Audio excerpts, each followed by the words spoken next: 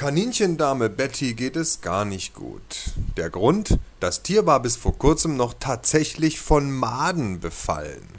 Tierarzt Christian Schwering erklärt. Die Besitzerin vermutet, dass es leicht Durchfall hatte.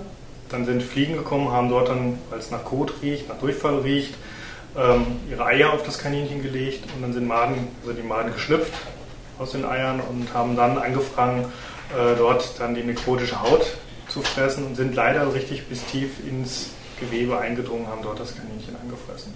Ein Zustand, der für das Kaninchen lebensgefährlich werden kann.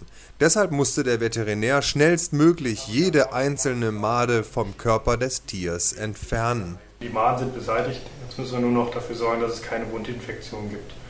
Und das unterstützt Tierarzt Christian Schwering mit einer Lasertherapie. Der Laser aktiviert das Gewebe und startet den Heilungsprozess. Außerdem wirkt er antibakteriell und vorbeugend gegen Pilzbefall.